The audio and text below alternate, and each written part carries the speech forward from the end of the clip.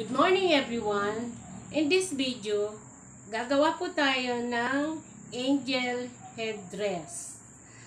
Ah, una po, kailangan natin ng karton na 9.5 by 9.5 ang size. Ganyan po. Then, ah, sukatin po natin ng padiagonal. So, ito po, 6, 13, 6 and a half. Then, gagawa po tayo ng 7 and a half na size ng bilog. So, 7 and a half, kalahati ay 3 and 3 fourths. Ayan po. 7 and a half, 7 and a half. Ayan po.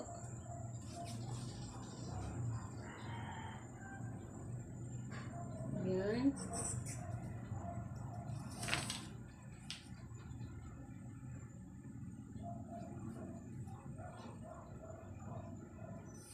So, lagyan po natin ng dots.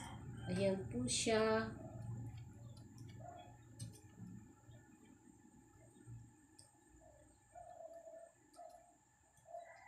Ang gagawin po nating bilog ay dalawa. Isa pong pang ilalim at isang pang ibabaw. So, ito pong 7 and a half ay para sa ibabaw. Then, ikakat po natin ng half inch. Ganyan po. Half inch.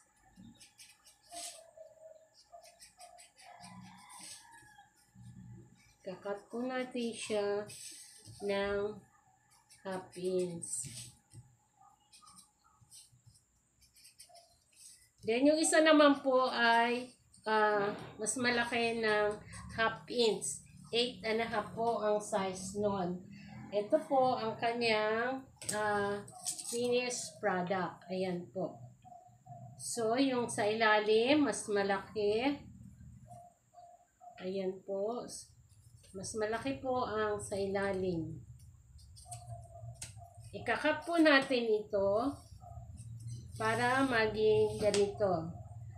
Ito pong ilalim ay 8 and a half. Ito pong ah, ibabaw 7 and a half. Then, gagawa po tayo ng stand. Ganito po. Mag-cut po kayo ng 1 inch. Then, itupin nyo po, ah, balutin nyo po ng tape.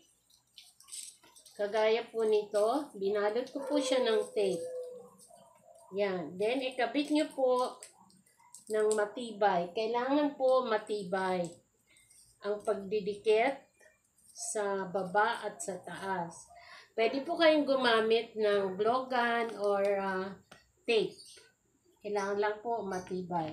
Then, ah, pipinturahan nyo po. Ito po ang fini- finished product. Ito po ay pwede nyo pinturahan ng kulay puti or balutan nyo po ng crepe paper kung ano man po ang inyong gusto.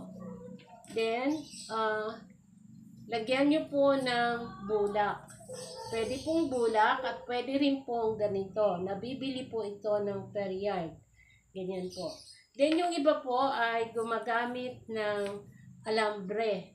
Ito po, instead na karton, alambre po ang ginagamit or kawad. Pero ganyan po ang singkat. Yan po lamang.